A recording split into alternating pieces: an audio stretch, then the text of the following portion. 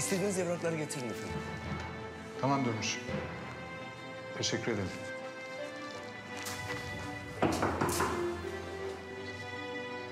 Zekai Bey, bir diyeceğim var sana. Kızım ne yapıyorsun sen? Dışarı çık. Bırak Durmuş, bırak.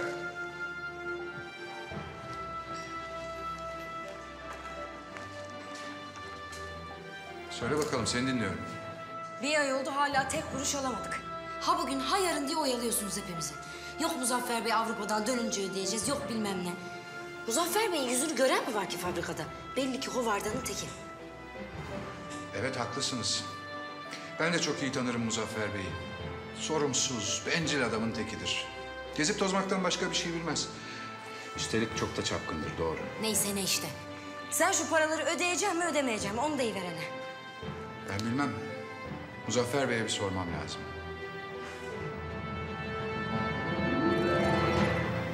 İşçilerin birikmiş ücretlerini bugün ödeyin Zekai Bey.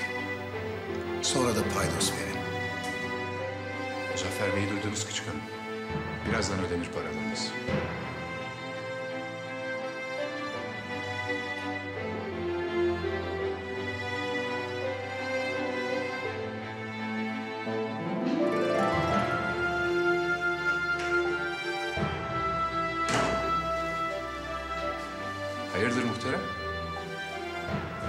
Misin sen? İyiyim. Ben çıkıyorum.